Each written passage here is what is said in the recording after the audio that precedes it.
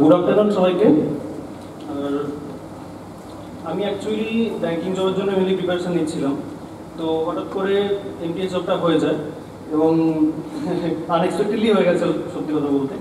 এবং এই ব্যাঙ্কিং জবের মধ্যে আমি কতগুলো প্রিলি ক্লিয়ার করেছি এবং মেন্স দিয়ে সেগুলোর রেজাল্ট হয়তো ওয়েট করছি। সিন্ডিকেট ব্যাংকের জিডিপিআইটিতে ওয়েট করছি রেজাল্টের জন্য।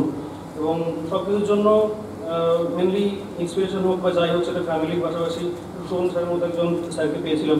উনি শুধুমাত্র একজন ভালো টিচার নন বেসিক্যালি তার বাইরেও উনি একজন ভালো মানুষ, ভালো মনের মানুষ এবং খুব ভালো বন্ধু বলতে গেলে আমাদের সবারই।